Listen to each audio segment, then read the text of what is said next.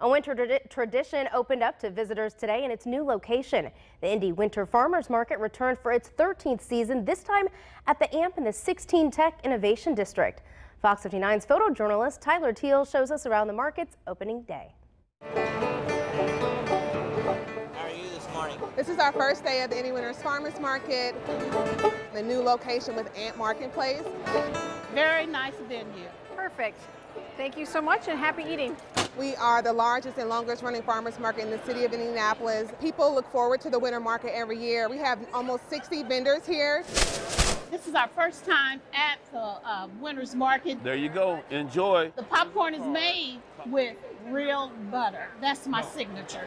I don't know if I gave it away or not, but I got butter rum, sriracha. Oh, look like I turned that head with some sriracha. hopefully we will sell out.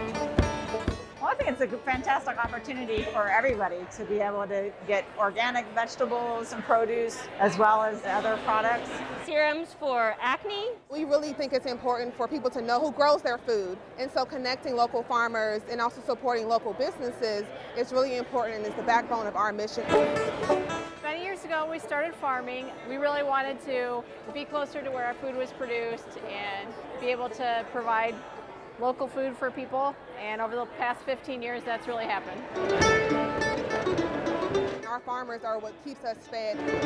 We're really excited to be able to increase food access in a community that does not have access currently. Well, if you want to check it out, the Winter Farmers Market runs every Saturday now through April. It's from 9 a.m. till 12:30 p.m. Well, still